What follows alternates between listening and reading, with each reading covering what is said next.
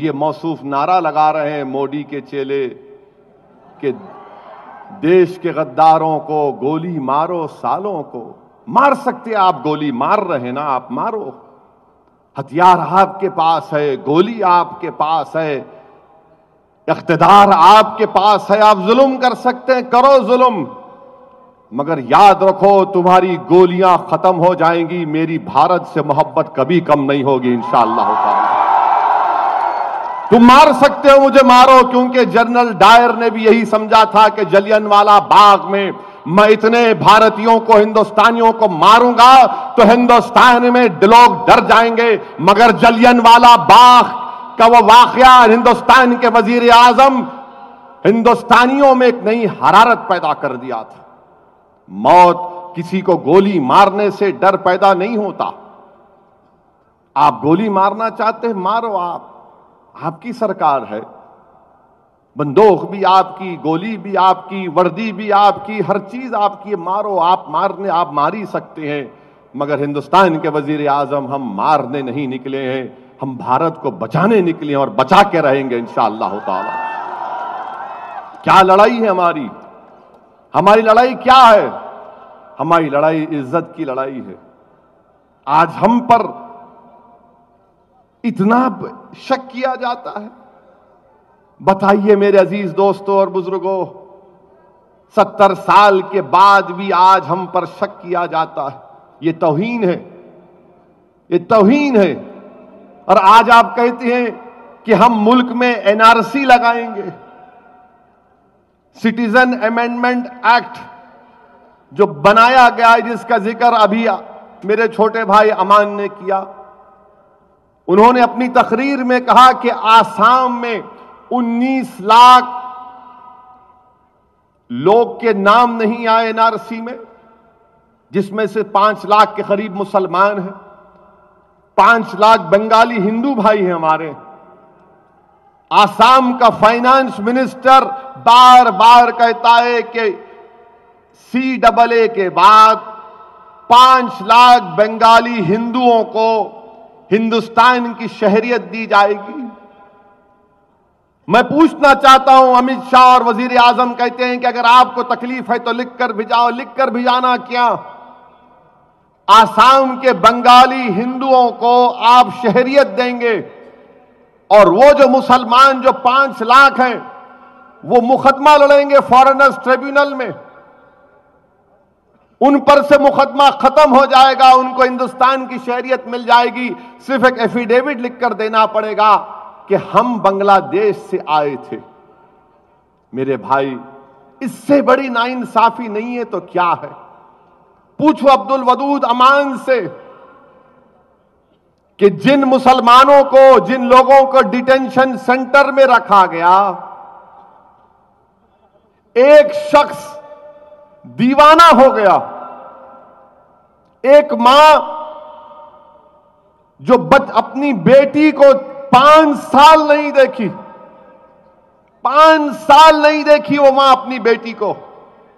میں نہیں، امان ودود سے بیٹھ کر پوچھ لو۔ امان ودود نے اپنی تقریر میں کہا کہ یہ نوجوان آسام کے گلی کوچوں میں، آسام کے ہر علاقے میں دوڑتا پھرتا ہے۔ اپنا ایک واقعہ بتایا امان نے کہ ایک راستے میں کسی گاڑی کی ٹکر ہوئی، عورت زخمی ہو گئی اسپتال میں۔ اس کی اولاد بھی زخمی ہو گئی۔ اور عورت رو رو کر امان سے کہہ رہی ہے کہ مجھے تکلیف اس بات کی نہیں ہے کہ میں زخمی ہو گئی ہوں، میرا میرا، میری اولاد زخمی ہو گئی ہے، مجھے رونا اس لیے آ رہا ہے۔ کہ کل مجھے فورنرز ٹریبیونل کے سامنے جانا ہے، میں کیسے جاؤں گی؟ بتائیے آپ، اس سے بڑی توہین ہم تمام کی ہے۔ اگر پانڈ، کیپٹن پانڈورنگا ریڈی صاحب ہیں، ستر پچہتر سال کی عمر ہے، چرنجیوی صاحب بیٹھے ہیں، ستر پچہتر سال کے اور اس عمر میں آنے کے بعد اگر نریندر موڈی ان سے کہے گا کہ مسٹر پانڈورنگا ریڈی صاحب، مسٹر چرنجیوی، آپ ہندوستان کے سٹیزن نہیں ہیں، ڈاکومنٹس لا کر بتاؤ۔ انسان کی غیرت بھی کوئی چیز ہوتی ہے، عزت بھی کوئی چیز ہوتی ہے، عزت نفس کوئی چیز ہوتی ہے۔ پچہتر سال کے ہو چکے اور ان کو لائن میں کھڑے رہنا پڑے گا بتانے کے لیے، صرف ایک شخص کی حماقت، اس کی انانیت کو۔ خوش کرنے کے لیے، اس کی انا کی تسکین کے لیے۔ جو لوگ پچہتر سال، اسی سال کے وہ لائن میں ٹھہریں گے۔ میں کیوں ٹھہروں؟ میں کیوں ٹھہر کر بتاؤں کہ میں ہندوستان کا شہری ہوں؟ میں پیدا ہوا اسی سرزمین پر۔ میں ہندوستان کا شہری ہوں، مگر ہم تمام کو ہندوستان کی سو کروڑ عوام کو لائن میں کھڑے رہنا پڑے گا۔ یہ صرف مسلمانوں کا مسئلہ نہیں ہے، یہ تمام ہندوستانیوں کا مسئلہ ہے۔ آپ تمام کو جو نریندر موڈی وزیر اعظم کو چاہتے ہیں، میں ان موڈی بھکتوں سے بھی کہہ رہا ہوں کہ تم کو بھی لائن میں کھڑے رہنا پڑے گا، تم کو بھی ڈاکومنٹ لانا پڑے گا، تم کو بھی ایس ایس سی سرٹیفکیٹ بتانا پڑے گا، تم کو بھی پاسپورٹ بتانا پڑے گا، تم کو بھی تمہارے باپ دادا کا سرٹیفکیٹ بتانا پڑے گا۔ ارے جب سب لائن میں کھڑے ہو جائیں گے تو پھر دیش کس کا ہوگا بتاؤ؟ اگر سب لائن میں کھڑے ہو کر بولیں گے یہ میرا ڈاکیومنٹ تو پھر دیش کس کا ہے؟ یہ دیش کس کا ہے بتاؤ میرے بھائی؟ کیا ہم نے اسی لیے انگریزوں سے آزادی دلائی تھی؟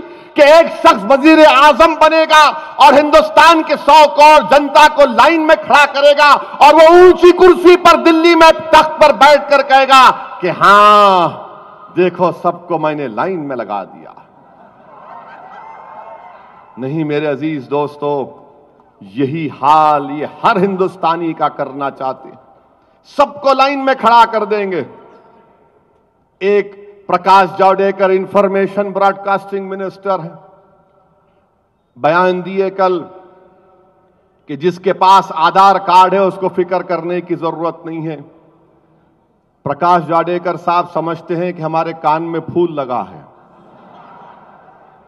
آپ کو لگا ہوگا، مگر آدھار ایکٹ کا سیکشن نائن، جس کا امان نے مجھے بتایا کہ سیکشن نائن صاف طور سے کہتا ہے کہ جس کے پاس آدھار کارڈ ہے، وہ ہندوستان کی سٹیزن شپ کو دیتا نہیں ہے۔ برتھ سرٹیفکیٹ اگر مطالبہ کریں گے آپ سے، پاسپورٹ کی بات کریں گے، آپ کو معلوم کتنے پاسپورٹ ہیں پورے بھارت میں۔ صرف بھارت کے ایک سو بیس کروڑ جنتا کے پاس چار پرسنٹ لوگوں کے پاس پاسپورٹ ہے۔ اونلی فور پرسنٹ اب کل سے شاید شروع ہو جائے گا کہ ارے بھائی او اے سی نے کہا، چلو پاسپورٹ بنا لیں گے۔ نمبر چار پرسنٹ لوگوں کے پاس پاسپورٹ اپریل دو ہزار بیس میں نیشنل پاپولیشن رجسٹر ہو رہی ہے۔ این آر سی شروع ہوگا۔ بلکہ این آر سی شروع ہو چکا ہے۔ این آر سی شروع ہو چکا ہے۔ نیشنل پاپولیشن رجسٹر شروعات ہے این آر سی کی۔ اور اس میں سوالات ہیں۔ کتنے بچے ہیں، کتنے گھر میں رہتے، کتنے کے پاس پاسپورٹ ہے، کتنوں کے پاس برتھ سرٹیفکیٹ ہے، آدھار کارڈ ہے۔ اور جو شخص ویریفائی کرے گا، وہ کہے گا کہ میں اس کے، اس سے مطمئن ہوں یا نہیں ہوں۔ اس کے اختیار میں رہے گا کہ لکھ دے گا کہ مجھے اس پر شک ہے ڈاؤٹ فل ہے۔ تو جب این آر سی شروع ہوگی، وہ ڈاؤٹ فل کو پھنس جائے گا وہ۔ یہی تو ہم کہہ رہے ہیں آپ سے۔ یہ صرف مسلمانوں کا مسئلہ نہیں ہے، یہ پورے ہر بھارت کے سٹیزنز کا مسئلہ ہے۔ ہاں ہم کو تکلیف اس بات کی ہے کہ اگر کسی غیر مسلم کا نام این آر سی میں نہیں آئے گا اور کسی مسلمان کا نام نہیں آئے گا،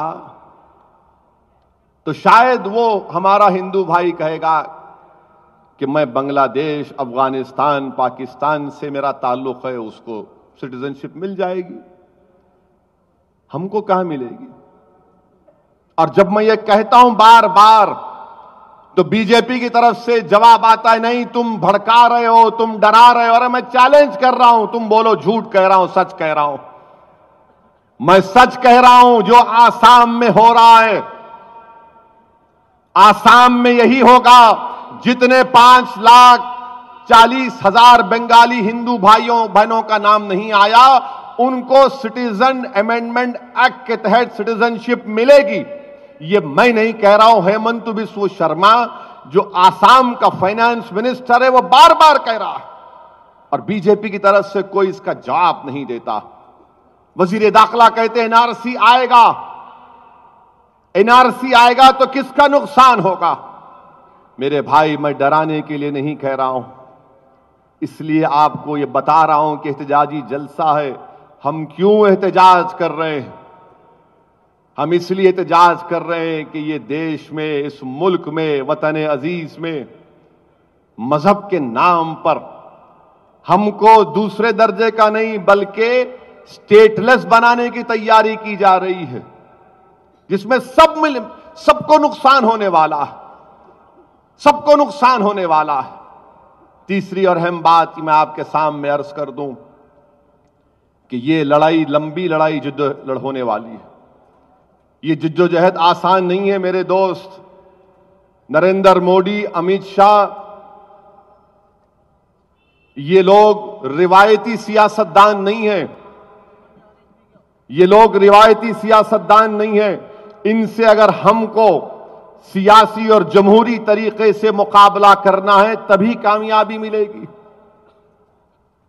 اگر ہم یہ سمجھیں گے کہ ایک جلسہ کر دیے، روڈ پر نکل کر آ گئے، کامیابی ملے گی نہیں۔ یہ مومنٹم کو کم سے کم چھ سے سات مہینے برقرار رکھنا پڑے گا۔ اور کب ہوگا؟ جب تشدد نہیں ہوگا، جب وائلنس نہیں ہوگا